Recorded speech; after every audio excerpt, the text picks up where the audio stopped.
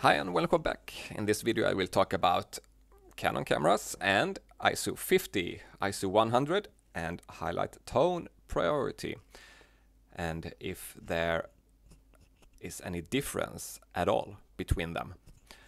And um, this will be about RAW files and not JPEG files. And it will also be about Canon cameras newer than 5D Mark II. Okay, let's see. Here I have some raw files, th three. This first one, HTP, highlight tone priority. And we can see that it, this one is very, very bright. And then we have ISO 50, and that one is a little bit dark. And then we have ISO 100, and that seems to be normal exposed. We can also see they do have the same f-stop and shutter speed, f8 and 160 of a second. Okay? And if I open them up in edit image, we can see that, yes, they look very different.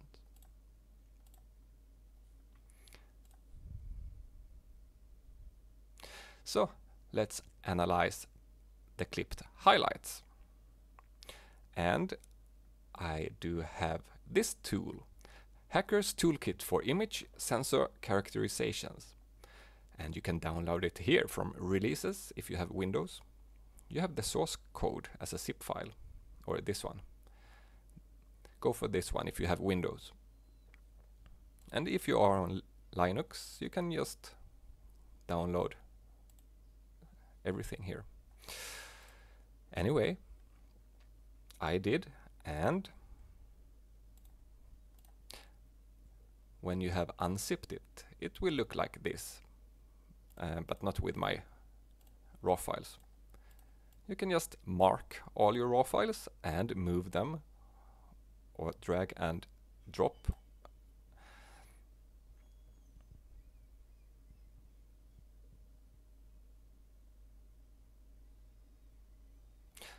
Here will we, you will see the clipped area or how much of your raw file that is clipped. And it will export to TIFF files and you will see the clipped area.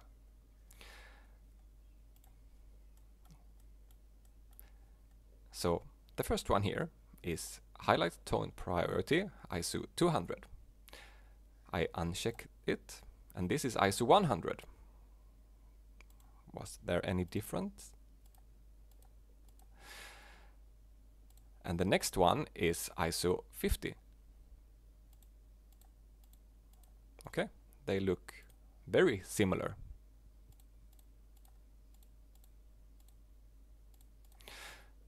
And we can zoom into this area.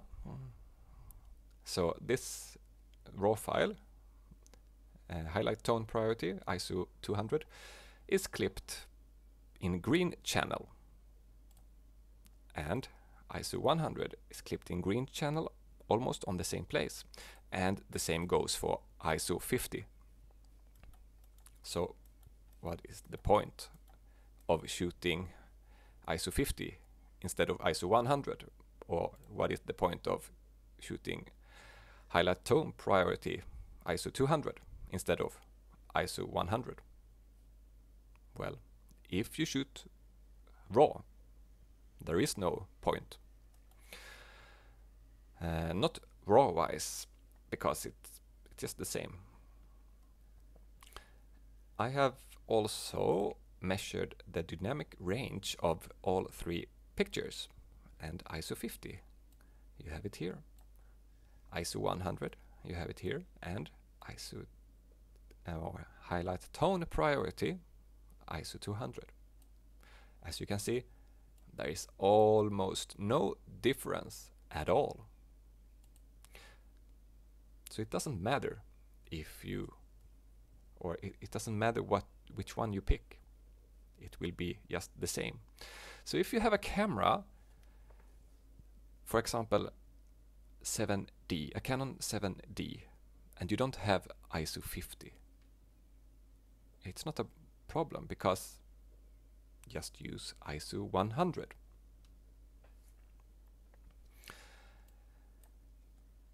So, what's more? Let's check Darktable. Here in Darktable we have the three pictures here and it seems like there is a difference between them. But when I open it up, the first one it's just look pale and the next one pale but exactly the same as the first one. And the last one also a little bit pale but exactly the same as the first one. Maybe the color balance or the white balance is a little bit different. Okay let's go back. But they are still different. So what is going on here is that Darktable uses the embedded JPEG um, here in light table. But when you are back in darkroom, it will use the raw file.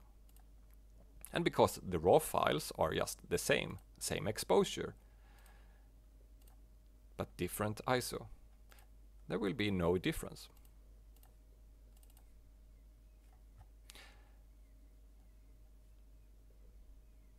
So if I would like to have it like Canon Digital Photo Professional, I would need to add, for example, a base curve like this. And this is ISO 200. Uh, let's see, exposure. Then I should overexpose it or add one stop of brightness. And the next one is ISO 100. Then I would just uh, turn on the base curve. And the last one is ISO 50. So I turn on base curve and exposure and I drag it down one stop. Kind of, okay.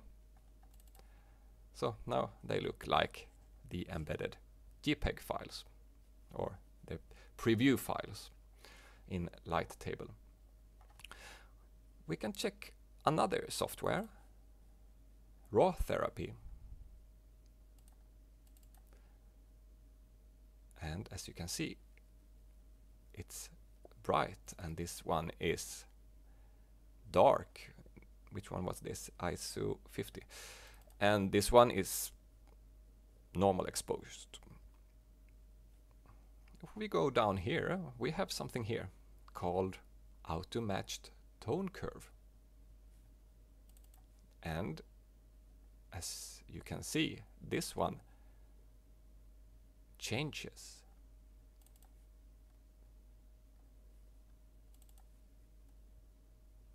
Okay, so it's just like a tone curve. Let's reset, reset, and reset. And all three of them will look the same. Yeah, the white balance was a little bit off in this one.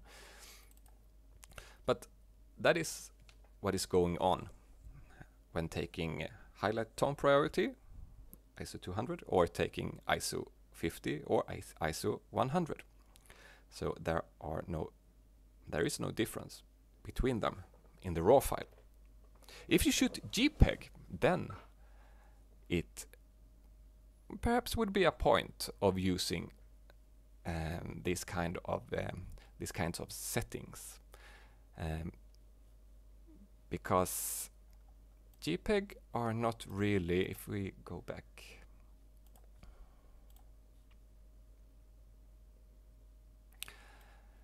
um,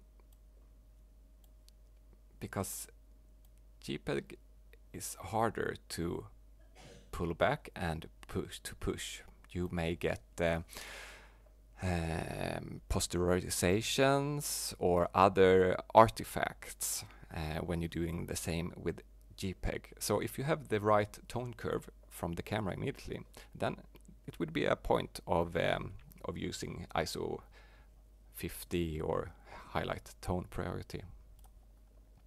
Anyway, I thank you for watching um, for this in watching this video and I hope you have learned something about ISO 50, ISO 100 and highlight tone priority. And remember, this is for RAW files and and for Canon cameras uh, um, built after 5D Mark II. Thanks for watching.